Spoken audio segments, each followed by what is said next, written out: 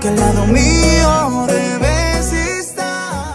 Reggie, recordado por su participación en A Otro Nivel, regresa a la escena musical con su nueva canción, no sin antes hacer eco al aprendizaje y la experiencia ganada en este programa. Solo déjame ser tu Bueno, sí, eh, a otro nivel marca, marca la vida de Reggie, eh, ya que es una experiencia muy bonita, aparte de lo musical.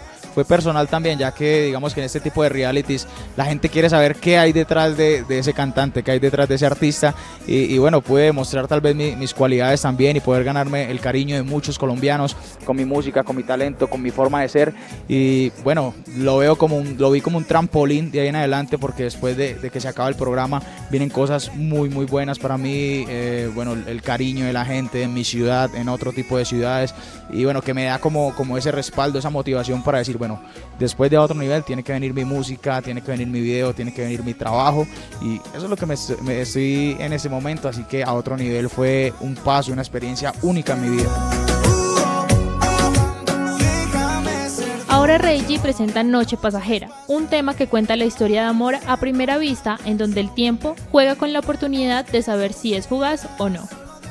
Bueno, sí, en este momento me encuentro promocionando mi nueva canción llamada Noche Pasajera, eh, el cual eh, hice el lanzamiento inmediato con video, ya tiene video en mis redes sociales como Noche Pasajera, Reggie, y bueno, era obligación mía, ¿no? Después de otro nivel no dejar como como dormir las cosas, por decirlo así, tenía que salir con algo también que estuviera a otro nivel. Y, esa fue la intención, una canción que se grabó en Medellín junto a Chris Ous, el Rolo, el video también se grabó en, en Antioquia, en Llano Grande y bueno, es una canción que, que, habla, relata algo muy típico, ir a una fiesta, ir a una disco y conocer como, como a una persona que le llama la atención y querer como acercarse, decirle, hey, tomémonos una copa, vamos a bailar un ratico, sabiendo de que tal vez esa noche, después de que se acabe, cada quien se va para su lugar, para su casa y puede ser una noche pasajera o tal vez una noche que se repita.